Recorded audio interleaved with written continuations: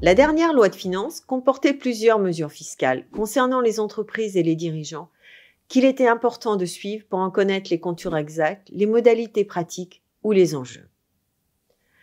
Une mesure importante avait été adoptée permettant d'amortir fiscalement les fonds commerciaux sur 10 ans sans limite de montant. Depuis le 1er janvier 2022, à titre dérogatoire, les amortissements qui peuvent être comptablement constatés au titre des fonds commerciaux acquis sont déductibles fiscalement et ce jusqu'au 31 décembre 2025. La loi de finances rectificative pour 2022 a aménagé ce dispositif exceptionnel avec l'insertion d'une clause anti-abus. Concernant les aides à la transmission d'entreprises, plusieurs dispositifs fiscaux ont été élargis ou favorisés, tels que l'exonération de plus-value de cession de titres lors du départ à la retraite du dirigeant, avec l'application d'un abattement fixe de 500 000 euros.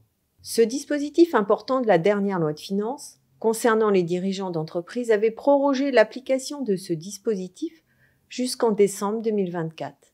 Par ailleurs, la loi de finances avait également élargi les conditions d'éligibilité du dispositif en augmentant le délai de trois ans contre deux ans initialement entre le départ à la retraite et la cession afin de tenir compte des difficultés liées au contexte économique. Des précisions ont été apportées sur le calcul des délais.